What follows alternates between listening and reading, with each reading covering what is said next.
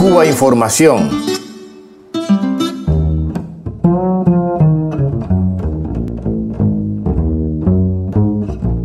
En junio de 2016, el gobierno de Cuba anunciaba medidas para enfrentar la reducción significativa de petróleo venezolano en la isla. La prensa internacional anunciaba una vez más el regreso a los apagones masivos y a las durísimas condiciones del periodo especial. El Estado cubano optó por proteger los rubros de mayor impacto en la población, el combustible, los alimentos básicos y los servicios universales y por hacer frente a los compromisos de deuda externa que meses antes había pactado con el Club de París tras una extraordinaria reducción de su monto. Es cierto que hubo restricciones y que la economía tuvo una ligera recesión ese año, pero no colapsó como anticipaban los medios.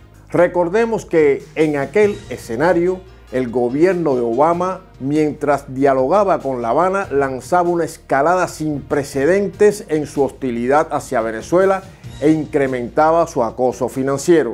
Aquella estrategia doble era desechada más tarde por Donald Trump, que ha ido regresando a la tradicional política unívoca contra ambos procesos.